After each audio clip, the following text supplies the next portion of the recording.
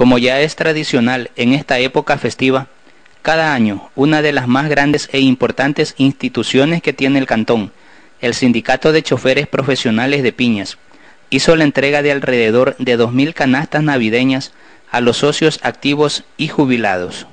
Bueno, les digo que son aproximadamente 1.900 socios que les van a entregar las canastas.